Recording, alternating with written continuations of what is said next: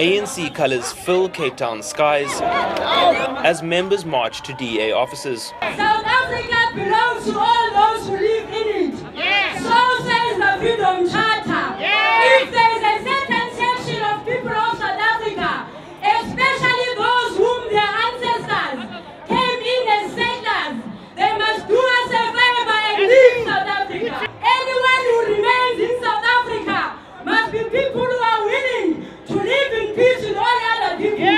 League leaders accuse the DA of governing the Western Cape with a racist agenda. The DA is nothing but a racist, white supremacist, arrogant, apartheid prolonged party. And the South in the Western Cape want to tell them that we are not going to beg white people to come to democratic South Africa. We are not going to beg them. We negotiated extensively in CODESA for this country to be free. We can no longer negotiate with the racists. Sure. If you want to be racist, you must go back to wherever racism is supported. The protesters hand over a memorandum to DA MP Zach Mbhele, who is told to take the document to his master, DA parliamentary leader Mmusi Maimane. We demand that the Democratic Alliance-led Western Cape stop the unequal distribution of services as it perpetuates the fact that this is a of two nations, one poor and predominantly black one and one rich and predominantly white.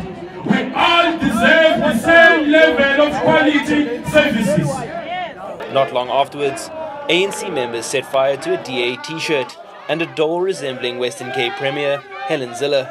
The DA must no longer be a home for racists. Otherwise, the DA must close shop. It must not exist in the It's like the AWB. If it continues in the way it's governing, in the way it's viewing black people. Police extinguish the fire and tell the crowd to move off.